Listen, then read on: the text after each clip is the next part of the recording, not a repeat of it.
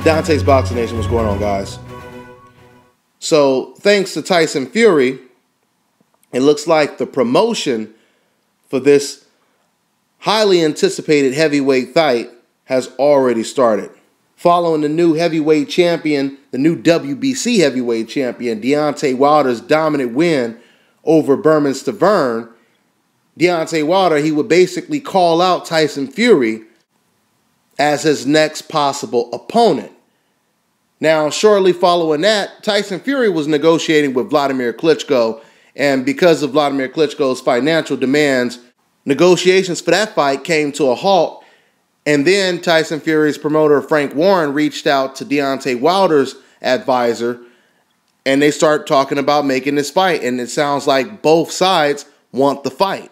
Now, if you guys watch the Bermane Stiverne Deontay Wilder press conference, which um, I titled it the best press conference of the year. It was a, a, very entertaining press conference with the type of personality that Deontay Wilder has.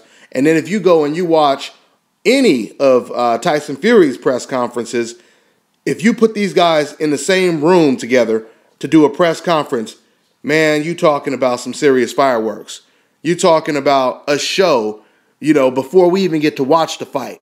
Both of these fighters have the type of personalities that boxing promoters dream of when it comes to promoting a fight.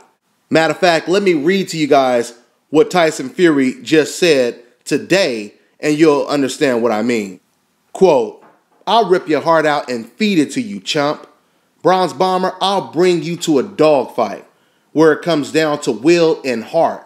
Hopefully, this chump Bronze Bomber will take the fight the world wants to see. I honestly think Bronze Bomber will avoid the furious one and fight some bums instead of keeping the heavyweight buzz going. Let's set it on fire. End quote. Very strong words. I already can't wait to watch this fight. I really hope this fight comes to fruition. It's funny that Deontay or Tyson Fury is accusing Deontay Wilder of possibly ducking him when it was Deontay Wilder that called out Tyson Fury, right? So, you know, we'll just have to see what happens. But once again, hopefully the fight gets made. And that's all I got. I'm on to the next one.